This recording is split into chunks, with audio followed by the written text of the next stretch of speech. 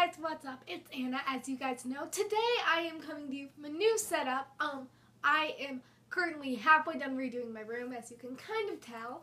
And so I thought that it would be fun to do the booktuber or book tag. I guess it's like just a book tag, but I'm gonna call it the booktuber book tag.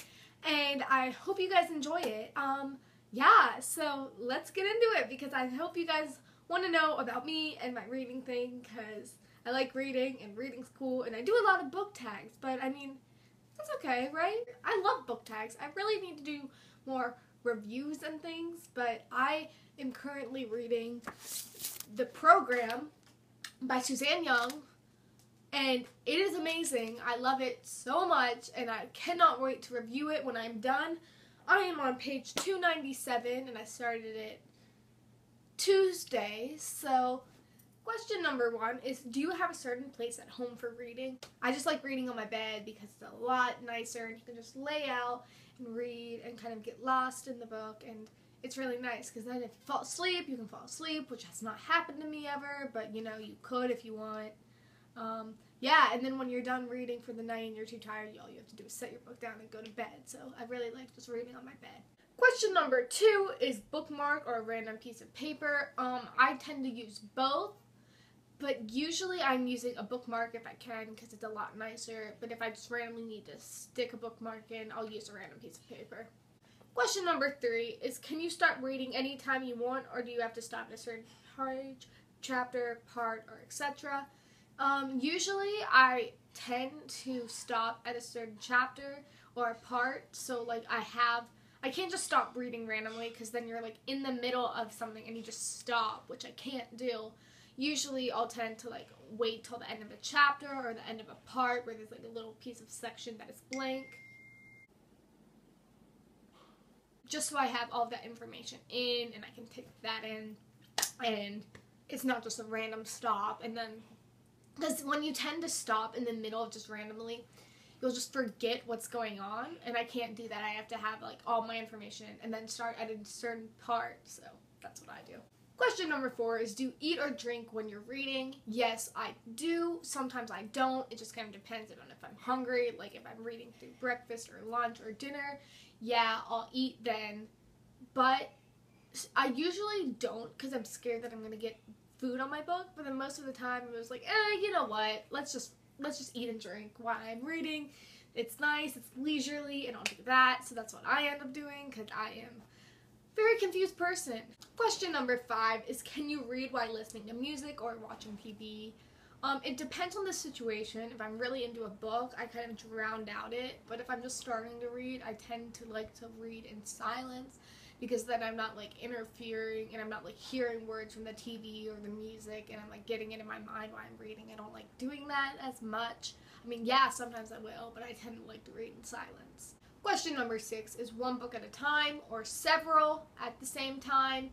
Um, I try to stick to one book, uh, relating back to the question about stopping randomly. If you just stop randomly and pick up another book, um, I can't do that because I like to like know the story. Then by the time I'm done with that story, then I'll pick it up. It's also an initiative to finish the book because if I like get a book at the bookstore and I'm like, oh my god, I want to read this.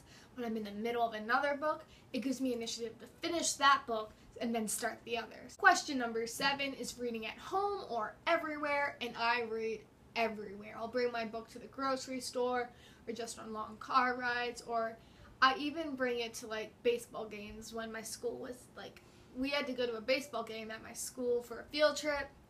I brought my book, they're all on my phone anyways, so it's kind of easy to get to them if I want them. I could just like download a PDF version and read it on my phone, but I haven't recently. I like to get the book version. But if I am just sitting down randomly like, oh, I'm so bored, I'll go online and download the PDF version of my book. If I didn't bring it, usually I bring my book everywhere, but if I don't, then I have the PDF version. So I love to read everywhere, just anytime I can, just read because it's so nice. It's it's a great thing to do, and I love it a lot. Question number eight is reading out loud or silently in your head, and um, I'm a lot better at reading in my head than I am out loud. I actually tend to slur my words, or I read really fast out loud, and then it just turns into a big jumbled mess. It's not the best thing. Like, yeah, I like to read fast, so I can read fast in my head and process information faster, but when I'm reading out loud, it takes me like several seconds to get it, and it's really annoying, so I like reading silently in my head. Question number nine is Do you read ahead or skip pages? No, I try not to skip pages because then it's messing up the story for you. But I do sometimes read ahead to see what's going on. If I'm at a really suspenseful part and I'm like, oh my god, does this character survive? Then yeah, sometimes I read ahead to see, which is not smart. I need to stop it.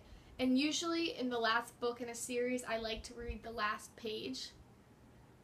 Don't do it. That's how I spoiled Allegiant for myself. I don't recommend it. Don't try it. Don't do it ever because it's bad and I should not have done that. And don't do it. Just stick away and just read the book as it goes and don't skip pages and don't read ahead because it ends up bad. Question number 10 is breaking the spine or keeping it new.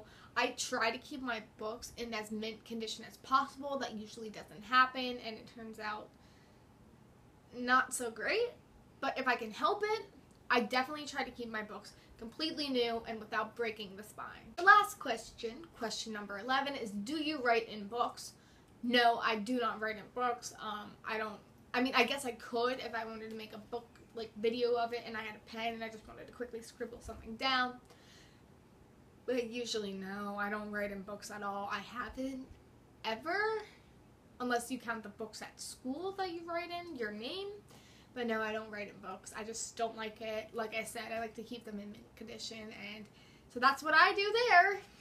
That is the Booktuber book tag. I hope you guys liked it. I'll see you next week. Comment below what you do when you read and things. I'd like to know. Give it a thumbs up and subscribe if you haven't. If you feel like it. Um, yeah, so I'll see you guys next week. Maybe I will do an Ask Ana. So if you want to tweet me questions, just do hashtag Ask Ana and tag me on Twitter, and I will reply to your questions in a video. Um, maybe, I guess it depends on how many questions I get, but if you want to, just do that. Um, tell me how you have been in the comments. I'd love to know how you guys have been. And bye! I'll see you next week. What am I doing? That was really bad, bad, really bad exit. I'll have to work on it. Bye!